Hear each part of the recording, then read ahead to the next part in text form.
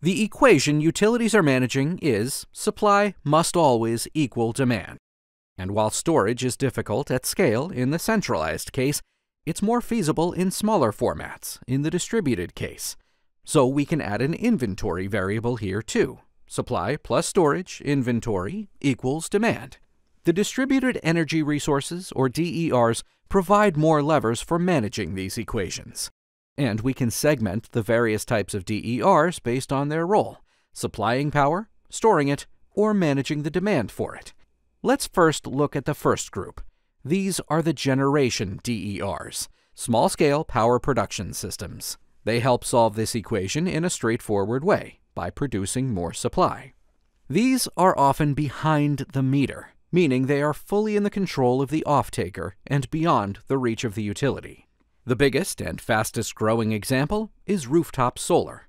Other renewables can be used in this way as well, such as small wind turbines or small hydropower systems, but these are larger systems and better suited for commercial and industrial customers, also known as C&I customers. In most markets, surplus power generated from behind the meter can flow in the reverse direction, back onto the grid, for a price.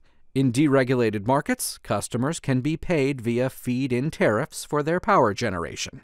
In regulated markets, they can usually get a credit on their bill.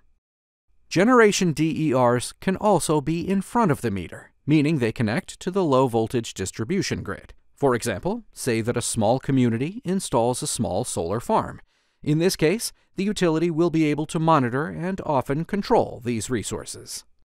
Distributed energy generation is not actually new. We've been using fuel generators to produce on-site electricity for a century.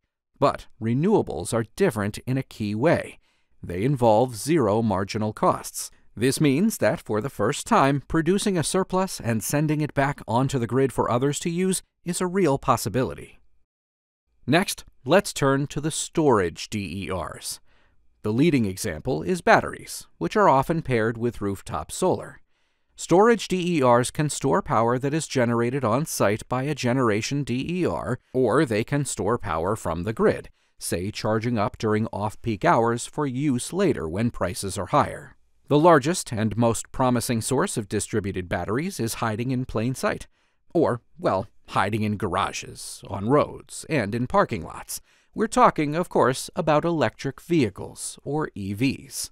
Emerging technologies will likely soon allow power to flow from parked EV batteries back into homes, or even back onto the grid. This concept is called vehicle to home, building, or grid, V2H, V2B, or V2G.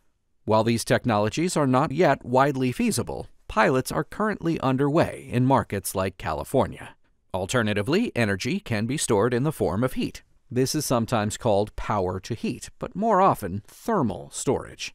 The most common case is a simple hot water heater. When power is in abundance and low cost, water can be heated for later use. Other media can also be preheated in this way. For example, special phase change materials, called PCMs, are designed to retain and slowly release heat. These can be built into floors or walls. So, generation DERs work by adding supply, and storage DERs work by putting energy into on-site inventory. The final set of DERs work by reducing or deferring the demand for power. These are the demand response management resources. The word response refers to the fact that these reductions or deferments are often triggered by signals from the supply side, usually from the utility. These signals are called demand response events. Historically, we've only made use of limited, centralized demand response tools. One example is when utilities send a message to customers in a given area asking them to use less power. This is commonly called a Behavioral Demand Response Event, or BDR. The systems that help send demand response events are called Demand Response Management Systems, or DRMS adding to our list of similar sounding acronyms.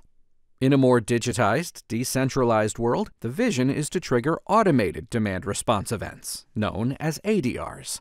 The devices that can respond to an automated response and find opportunities for demand reduction are the Demand Response Management DERs. A leading example is smart home devices, like smart thermostats.